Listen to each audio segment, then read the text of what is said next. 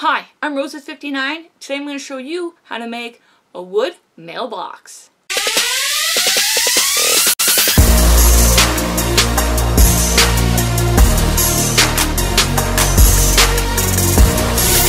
For this project, I'm using a 1 by 12 by 8 rough pine wood.